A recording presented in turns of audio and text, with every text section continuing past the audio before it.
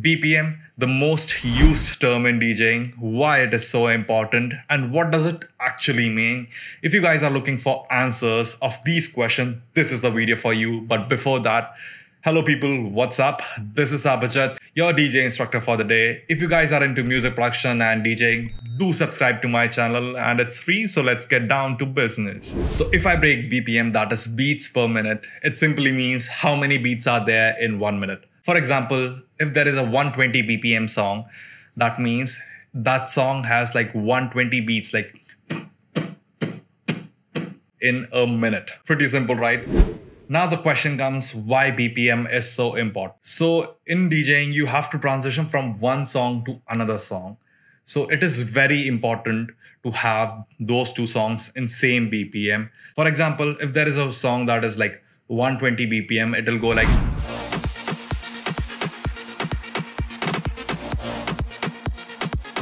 And if there is a song that is 150 BPM, that will go like.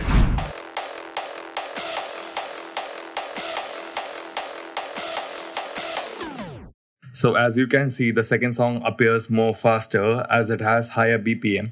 So that's why BPM is also known as speed of the song. There is a detailed explanation to this that I'll explain it in the later part of this video.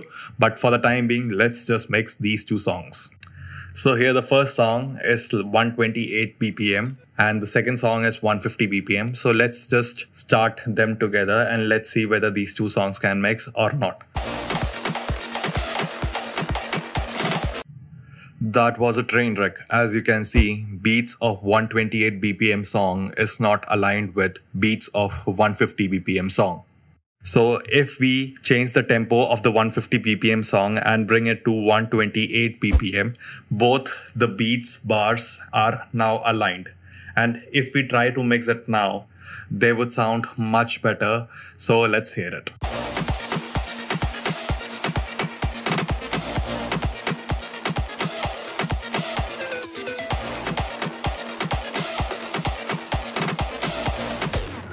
So still need to do some basic EQ to this, but definitely we can now mix these two songs and transition from song A to song B. So one pro tip that will, you know, actually help you while you DJ is like higher the BPM, lesser will be the gap between two beats. Let me get a sheet of paper and explain you the stuff. So these two lines represent one minute. So the upper line shows the beat structure of the song whose BPM is 4 and the lower line represents the beat structure of the song whose BPM is 5. Suppose I number the beats. It'll go like first beat, second beat, third beat, fourth beat, and again the first beat. And that is 4 BPM.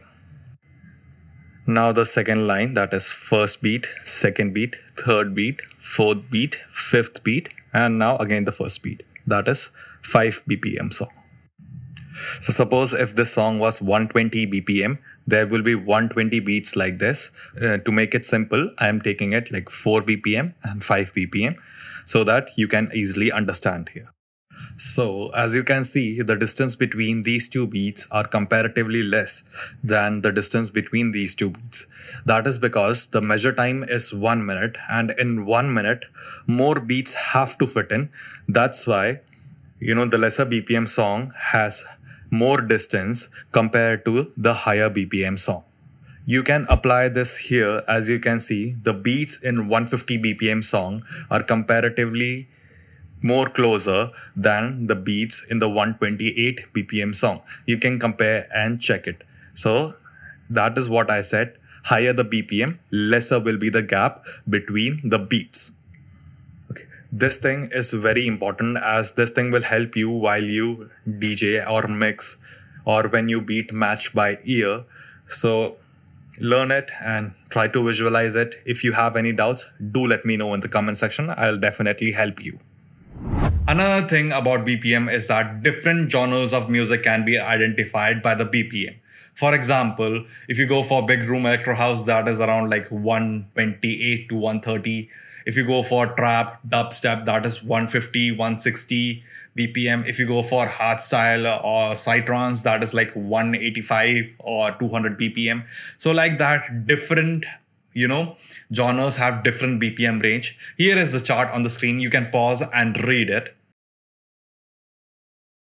That's it for the day. I'll see you in the next video. And in the next video, I'll explain something pretty interesting that is what happens inside a DJ's mind while he mixes. So do subscribe to my channel and I'll see you in the next video. Take care. Bye bye. Do click on the video that is appearing on the screen to know more tips and tricks like this.